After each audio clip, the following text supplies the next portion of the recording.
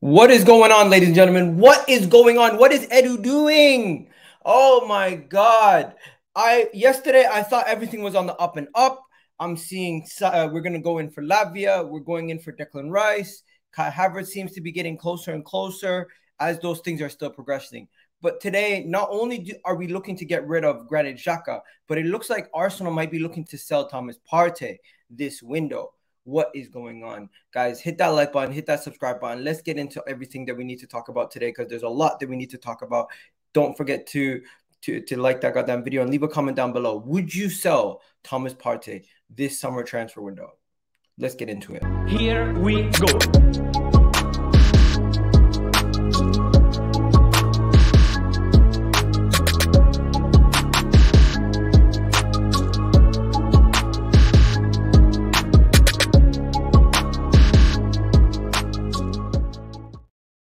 Yes, yes, yes, yes, people. What's going on? So I it's a wonderful Sunday evening, and I was just chilling on on the internet, looking around, seeing what what everyone's saying about the transfer news and everything else. And unfortunately, I couldn't do a live video for you guys, so I'm going to be doing uploads more often throughout the summer transfer window, as I will be going live once again later tonight uh, to discuss everything on vibes from the six around nine o'clock. But right now, let me just show you guys what's happening with Arsenal and what Fabrizio Romano had to say about Thomas Partey because this news has shaken me and it and it has shaken some of the Arsenal fans uh, on their opinions of what direction we might be headed in. As we are, uh, as Fabrizio Romano tweeted three hours ago, understand that there is concrete chances for uh, Thomas Partey to leave Arsenal this summer. The club are interested and there is discussions about his exit. His contract expires in 2025. No extended, uh, no talks to extend as of today, and Arsenal's priority remains to be Declan Rice. Now, my question to everybody in the comment section is: Would you, or would you sell Thomas Partey? And I would think that majority of you guys would say no, as we are going to be in the Champions League next year. We're going to be competing on all fronts next season. We need all the players on deck. And I don't want to lose Thomas Partey. I personally, I don't want to even sell Jorginho or Granit Xhaka, but I understand getting rid of one of them as they all three of them are quite old, and you don't want to keep all of them on the books for too long. Now, Thomas Partey, could they be getting rid of Thomas Partey this window? Potentially. Why would they be looking to get rid of him? I personally don't know. It could be some of the legal issues. It could be something something else to do with something else. But there is a lot of rumors around Thomas Partey potentially departing from Arsenal, and it is reported that the person who could be coming the other way would be Romeo Lavia. Now, let me just show you guys what it had, what they had to say about Romeo Lavia, as this is what they were saying about Romeo Lavia. Arsenal have uh, have concrete. Uh, sorry, Arsenal have strong interest in Romeo Lavia with the relationship in his camp. Talks around uh, took place, and remaining uh, timing will be crucial as Chelsea remain interested. So uh, and Manchester United appreciate uh, Lavia and still not advancing. Man City do have a buyback clause, only void uh, valid in 2024. As Southampton would try to sell him this win this summer over the 40 million buyback clause that Man City have. Romeo Lavia would be the replacement for Thomas Partey, but I don't want them to go and sign a replacement. I want them to go and sign him fully uh, and, and keep Thomas Partey so we have both of them. It doesn't make sense to get rid of Thomas Partey to buy a 19 year old to come in and play in his position. You need Thomas Partey to help embed and, uh, and give this guy time so he doesn't have to deal with playing week in week out every single day champions league premier league cup games. No it does not make sense. We are trying to compete in the champions league. We're trying to compete in the premier league. And in order for us to compete on all fronts we need squad depth. Why would you sign two midfielders when we already needed midfielders and then get rid of Granit Xhaka and Thomas Partey? It doesn't make sense. It doesn't make sense. This right here is absurd. I am slightly concerned at this moment in time if this is the direction that we might be headed in. If we're if we're going to be if we're just going to be selling players and not really bringing in the quality that's needed to compete on all fronts. That is my concern at this moment in time. Thomas Partey could leave. Thomas Partey could leave this uh, this during this transfer window. That's what they're saying, but I need to see more before before I go before I uh, I go crazy or, or see anything else. Sorry for the phone calls in the middle of the stream. what a mess. Um, now moving on from that, as I, I feel like I've covered it. I think everyone would take Romeo Lavia, as as as we all agree. But the thing is, you won't you don't want to sell Thomas Partey. You don't want to sell Thomas Partey. One second, where is it? Yeah, you don't want to. I'm sorry. This is this is not as you can tell. This is this is basically live pre-record. You so yeah, Romeo Lavia right there, and then the Thomas Partey news was right under it. So yeah, I don't want to uh, I don't want to sell Thomas Partey just to buy Romeo Lavia. I want to keep Thomas Partey for at least one more year, maybe give him a new contract extension of uh, of, of two years, and then and then give Romeo Lavia that that time to embed in and just get used to the system and everything else. I asked a lot of people on my Twitter if they would be interested in selling Thomas Partey and surprise and no to no surprise everyone just says no no no no no no no no we can't sell him. That's that's what everyone's saying. As they as as i would understand why would anyone want to sell him? We would thomas Partey, even though he's been poor in the back end of last season he's still a key piece to this team. And i don't think we should be just up and moving him out that that quickly. We should we should have some level of understanding that we need him going forward.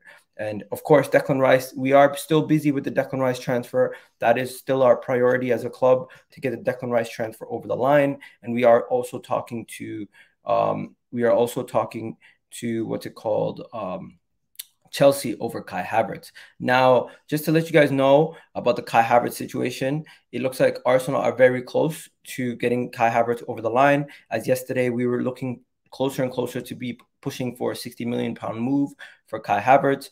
Arsenal are very close to uh, uh, uh, joining. It depends on the final offer, as Arsenal are. If they're willing to pay up to 60 million, then he's ours. If we're not, he's not ours. And as of right now, Kai Havertz seems to be the main priority uh, outside of Declan Rice, of course. Now there is a there is a couple conversations. Uh, sorry about that. That's not that's not relevant right now. But yeah, here's another one. They're saying that uh, Kai Havertz prefers to to come to Arsenal over going to uh, the Bundesliga and going to Bayern Munich. So that is interesting that he prefers Arsenal over Bayern Munich. And Fabrizio Romano about three hours ago said that it's very clear to all parties involved that he wants to join Arsenal. The green light has been given for the contract. Personal terms have been agreed. A new bid will be submitted very soon, and it is understood that they hope to get the deal done after the international break. This is this is what's being reported at this moment in time about the Kai Havertz news. Personally, for me, I still don't understand why we are so heavily linked to Kai Havertz. It, the transfer is is is somewhat confusing to me. I never understood it, but hey, it's gonna happen regardless if we like it or not. Um, and if Mikel Arteta can do something out of it, make it work, it would be beautiful. But if it doesn't work out, and Mikel Arteta really, it's gonna be something different. It's gonna be, it's gonna be, we're gonna become a joke if if it doesn't work. If it works, Mikel Arteta is a genius, and we gotta call him a specialist. But yesterday I was with Lewis, and Ladies and gentlemen, Arsenal look to be bidding around 60 million for Kai Havertz, and I have a Chelsea fan here to see what he has to say. Lewis, what do you got to say about this, man? Time is money. Money is transfers. Transfers is targets. Caicedo will not pay for himself. Please run the 60 million ASAP. Generational talent. for fuck's sake, why are we doing this? Why is Arsenal buying Kai Havertz? What is Kai Havertz good at, Lewis? Um, can he play in the midfield? What defensive transition, Kai Havertz, or basically to say the Chelsea fans don't rate Kai Havertz and they they they they're they're well and ready for him to move on and they're quite happy with him to move on at this moment in time. Now with the Declan Rice news, Ilkay Gundogan news, uh, not really too much going on in that in that realm at this moment in time, as we are seeing here that Declan Rice um, uh, the deal is in a uh, is in a critical uh, is critical these days to avoid any surprises. A new bid uh, has been discussed after the 80 million pound bid was rejected. Personal terms have been agreed. Understood that Man City are also after Declan Rice as of last Friday and are waiting for Ilkay Gundogan's decision on if he will stay or if he will go. And if Ilkay Gundogan leaves, he might most likely be going to Barcelona or Saudi Arabia. Those are his main uh, uh, options at this moment in time. So yeah, at this moment in time, it seems like Arsenal next three signings are going to be Kai Havertz, Lavia, and Declan Rice. And at this moment in time, Lavia is just very strong interest. And in the case that we let Thomas Partey go, he would be replacing him. We also have Declan Rice, who could also play in that DM position. But my question is, are we signing Kai Havertz to play in the eight? What are we really doing with Kai Havertz? And is that the plan going forward with Kai Havertz? Because that seems to be the uh, the plan at this moment in time. It looks like that might be the situation that we're going to be going for going forward. Now, just to let you guys know, you guys all love Premier League football, and next season Premier League football uh, uh, in Sky uh, with Sky Sports. The announcer for next season for Sky Sports will be uh, P- uh, Peter Drury, uh, and he he is an, an, amazing announcer. We all know how how he's such a great storyteller and how he just makes brings everything to life when, in when he speaks. So I'm excited that Peter that that Peter Drury will be taking over um, he will be taking over next from next season. Let me just show you guys what I'm talking about. So yeah, as you can see there, Peter uh, Peter Drury will be taking over uh, from Martin Tyler at Sky Sports. Emile Smith Rowe uh, won't give up on his Arsenal uh, at his time at Arsenal. He'll continue to fight for his place as he's getting in shape for next season, and that's a positive there. Kai Havertz, of course, Arsenal Arsenal hope to seal a deal of 60 million for Kai Havertz. That's another headline. Um, Newcastle plan to uh, to Newcastle plan to move for Chelsea fullback if Arsenal don't let Kieran Tierney go. That is an interesting take right there. We're gonna have to see what escalates with that. Um, and yeah, this is this is the main. These are the main stories for today. This one here was something that really shook me. That made me think like, why would we? Why would we do that? I was just wondering why would we? Why would we let Thomas Partey leave? Why would we let Thomas Partey leave to bring in Romeo Lavia? It don't make sense to me personally, but that is another thing there. Now, there is some news with Lokonga. Let me get that up.